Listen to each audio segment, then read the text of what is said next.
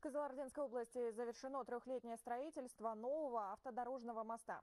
Долгожданная переправа решит проблему 13 аульных округов Сырдаринского района. А вот уже несколько лет более 20 тысяч жителей местных сел до районного центра добирались в объезд, а это порядка 120 километров.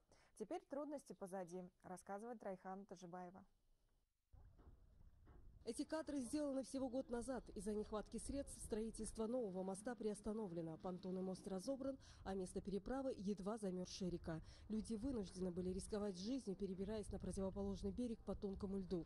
Альтернатива этому риску – объезд в 120 километров. Как только Дарья замерзает, начинаются трудности. На лодке не проплывешь. Приходится добираться до районного центра в объезд через город и Жалагаш. Дорога занимает почти 4 часа. Кто в больницу, кто по делам. Не управишься за день, приходится опять завтра ехать.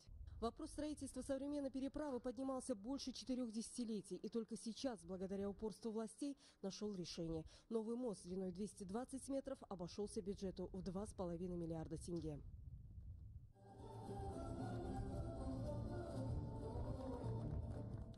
На смену старым переправам новые современные мосты будут построены еще в двух районах области. По словам специалистов, решается вопрос о возведении подобных объектов в Казалинском районе и в поселке Ахай.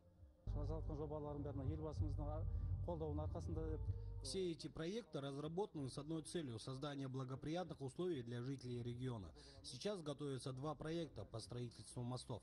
Один из них будет расположен в Казалинском районе, другой – возле города Байконур, в поселке Акай.